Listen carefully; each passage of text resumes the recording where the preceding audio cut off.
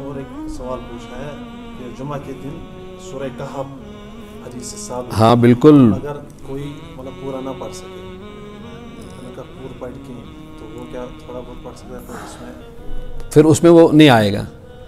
यानी जो अमल है सुर कहफ का ये तब हासिल होगा जब वो पूरा पढ़ लेगा।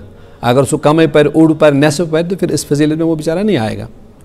इन्होंने नाम के बारे में पूछा नाम कैसा नाम तो ज़ाहिरन ऐसा रख सकते हैं आसिफ़ा। आसिफ़ा रख सकते हैं नाम उसमें कोई हरज नहीं है। रखते हैं सारे लोग। मतलब रख सकते हैं शरण इसमें कोई कबात नहीं है। नाम में बड़ी गुंजाइश है।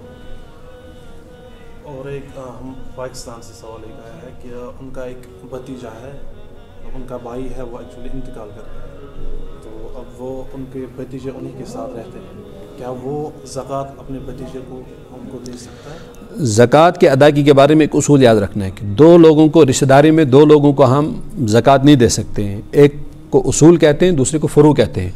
उसूल जो ऊपर के रिश्तेदार हैं मसलन बाप, दादा, नाना और, बाप, दादा इसके आगे और माँ और नाना, नानी वगैरह वो वाला रिश्ता।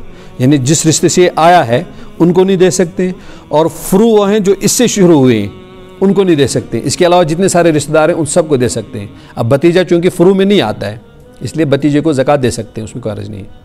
जुमा के दिन जो दूसरे आज़ाद होते हैं हाँ।